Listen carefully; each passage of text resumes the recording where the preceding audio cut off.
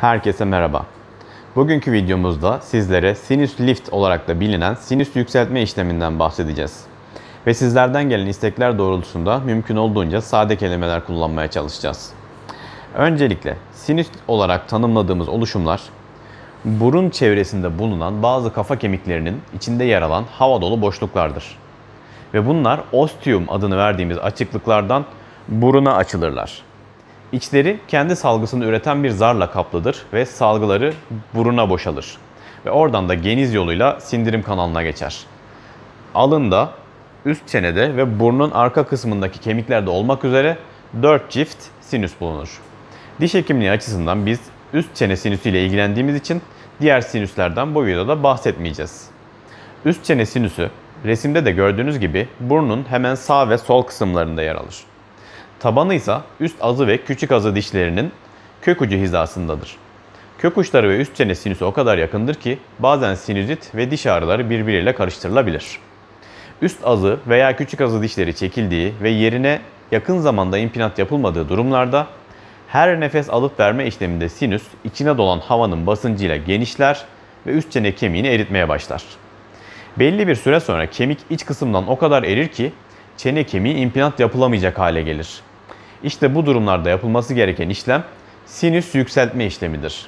Yani kabaca özetlemek gerekirse bu işlem resimlerden de takip edebileceğiniz gibi diş etinin kaldırılıp sinüsün duvarını oluşturan kemikte sinüs zarını zedelemeden ufak bir pencere açıp sinüs zarını esnetip yükseltme ve arada oluşan boşluğu greft dediğimiz kemik tozuyla doldurma işidir.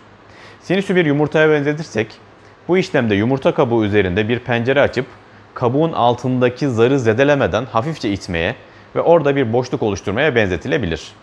Sinüs yükseltme işlemi yapılmadan önce sadece röntgen çekilmesi yeterli değildir. Kesinlikle 3 boyutlu tomografi görüntüleri de incelenmeli ve cerrahi ona göre planlanmalıdır. Şimdi örnek bir vakanın filmleri üzerinden sinüs yükseltme işlemini özetleyelim. Bu hastamızın size göre sağda kalan üst çene kısmında diş kayıpları mevcut. Ve biz buraya 2 adet implant yerleştirmeyi planladık. Mavi çizgi çene kemiğinin başlangıcını, pembe çizgi ise sinüsün genişlemiş tabanını gösteriyor. Arada kalan kısımda ise implant yapılabilecek olan çene kemiği bulunuyor. Fakat bu kemik aralığı o kadar kısa ki en kısa implantımızı koymak için bile yer yok. Biz de sinüsün tabanını yükseltip oluşan aralığı kemik tozuyla doldurmayı ve aynı anda 2 adet implantı da yerleştirmeyi planladık. Bu filmde görüldüğü gibi iki implant yerleştirildi ve sinüs tabanı eski sınırı olan pembe çizgiden yeşil çizgiye kadar yükseltildi. Arada sarı oklarla gösterilen beyaz alan ise genellikle tercih ettiğimiz sentetik kemik tozuyla dolduruldu. Resimde beyaz parçacıklar olarak görünen kısım kemik tozlarıyla doldurulmuş olan sinüs penceresidir.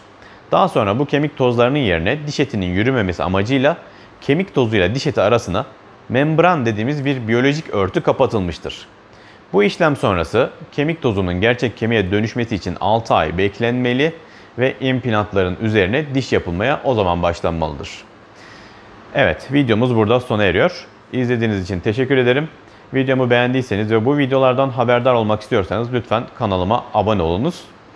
Ee, her zaman tekrar ettiğimiz gibi lütfen herkese karşı kibar ve nazik olmayı unutmayın.